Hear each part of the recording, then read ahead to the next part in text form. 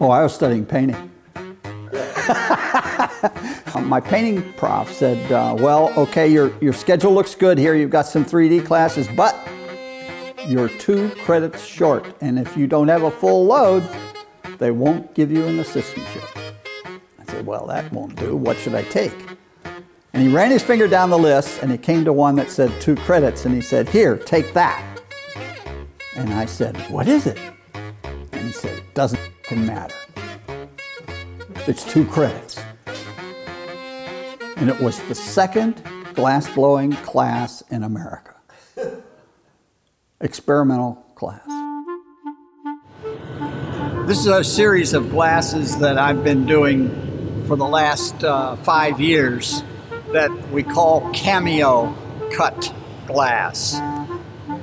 So we came here a year and three months ago and blew cups or blanks, I call them, uh, that have colors on the outside and clear on the inside. And then I took them to the engraving machine. I carved through each color down to the color that's below it and make a pattern.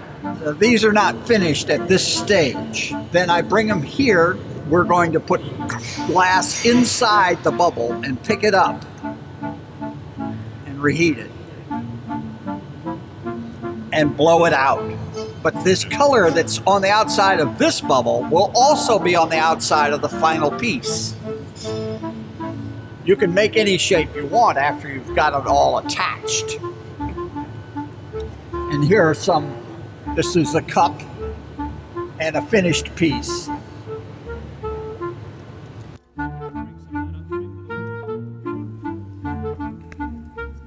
A slight tap, the piece is broken free and on its way to the annealer where it will cool down for the next several hours. If I could have my biggest dream come true, it would be that uh, people see me as an artist as well as as an educator so that um, I can have my cake and eat it too.